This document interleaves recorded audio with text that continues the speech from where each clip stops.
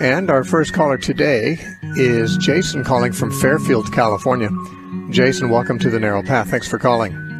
Hello, Brother Steve. I had a question about your view on Revelation. Uh, I agree with you a lot on that.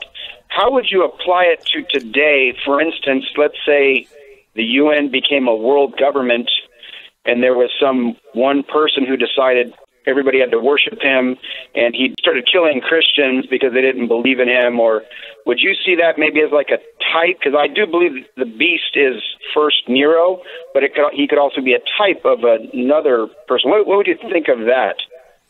Well I believe the beast in Revelation represents more than one historic event. I believe that the beast in Revelation represents Satan taking on the the form of human government to persecute the kingdom of God, and that he does this throughout the entire age of the church in different forms. So, in seeing Nero as the beast, you'd be quite correct, I believe, in that he was, at the time that the book was written, he was the form in which Satan had taken on a political garb and was persecuting the church. Uh, if this would happen, as you suggest, in the end times, then that would be another manifestation of the same beast, in my opinion.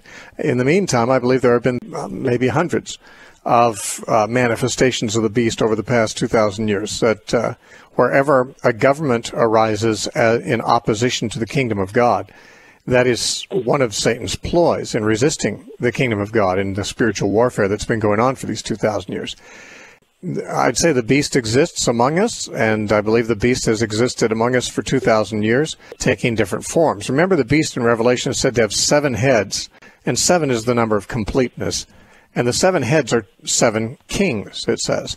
And then it also has ten horns, and those ten horns are also ten kings. So obviously the beast is representative of many kings, many, many rulers, different times. And in my opinion, any ruler any governmental system that rises up against the kingdom of God and persecutes the church is a, a manifestation of one of those heads of the beast. So, like Hitler for his day would sure. have been like that. Okay. Sure, absolutely. Yeah. Great. Thank you very much.